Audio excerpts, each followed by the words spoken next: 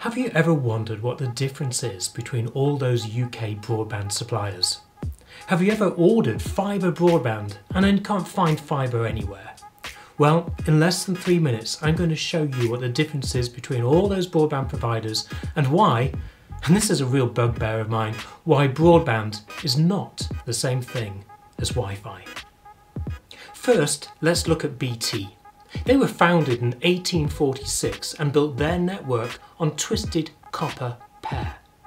Of course, it was built for voice, so when broadband came along in the 1990s, so did standards to put internet signals over this, by now, rather old copper wire. The technology is called Digital Subscriber Line, or DSL. More recently, in 2006, OpenReach was launched. OpenReach allows other companies like TalkTalk, Sky, PlusNet, and many others to use those wires to provide broadband to their customers. But they're always relying on and paying OpenReach for the use of their wires.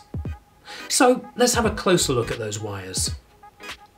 Although DSL is always evolving, it's basically doing the same thing, and that's squeezing many frequencies or spectrum in a thin wire. The main challenge here is that the longer the wire is, the more those frequencies fade, and so the broadband starts to slow down. This is why with copper broadband, you never really know what speed you'll get until it's tested for distance. Now let's look at Virgin Media. They don't use OpenReach's uh, copper wire. Instead, they use a much thicker cable called coaxial cable, which was built by their predecessors in the 1990s, and over that there runs a protocol called DOCSIS. The thicker cable means it can carry more frequencies, which results in higher speeds.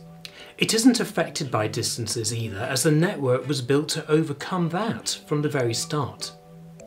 DOCSIS continues to evolve, just like DSL, but as the saying goes, you can't squeeze a quart into a pint pot, and so, for even faster speeds, something else is needed. And of course, that something else is fibre. And both companies already use fibre extensively in their networks, so much so they're allowed by Ofcom to call it fibre broadband. But this typically means there's fibre everywhere except actually for the last bit that goes to your home. This is known as fibre to the curb, or FTTC. True Fibre to the Home, or FTTH, is being rolled out by both companies when speeds will easily hit gigabits per second and be future proof for many years to come. Noticed I haven't mentioned Wi Fi. Well, that's because it's completely separate and turns what's flowing over those cables into something that can fly over the air. And that's what we'll be talking about next time.